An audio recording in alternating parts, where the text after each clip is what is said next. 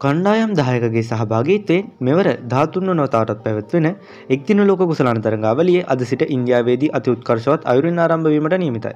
තරංගය ආරම්භ වන්නේ හයිද්‍රාබාදෙහි නරේන්ද්‍ර මෝදී ක්‍රීඩාංගණයේදී. එහිදී මෙවර ලෝක කුසලානයේදී පළමු තරගයේ ක්‍රීඩා කරන කණ්ඩායම් දෙක බවට පත් වී තිබෙන්නේ ගියවර එක්දින ලෝක කුසලානයේදී අවසාන මහා තරගයට තේරීපත් වූ කණ්ඩායම් දෙකයි. එම කණ්ඩායම් දෙක වන්නේ එංගලන්ත කණ්ඩායම සහ නවසීලන්ත කණ්ඩායම අතරයි. මෙම කණ්ඩායම් දෙක තමයි අද සමාරම්භක තරගය වෙනුවෙන් ක්‍රීඩා කරන්නේ.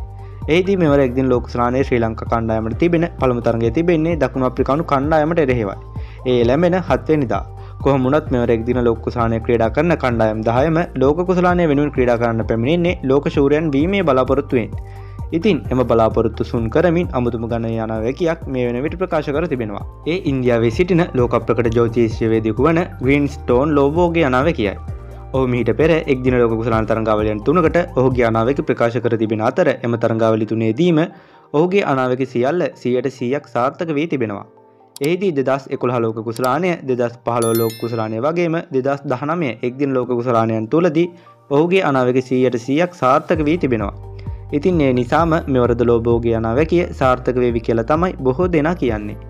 ඒ අනුව මෙවර ලෝබ ප්‍රකාශ කරලා තියෙන අනාවකය තමයි මෙවර ඉන්දියාවේදී පැවැත්වෙන ලෝක කුසලාන ජයග්‍රහණය කරන්නේ ඉන්දිය කණ්ඩායම යනනාවැ කියයි.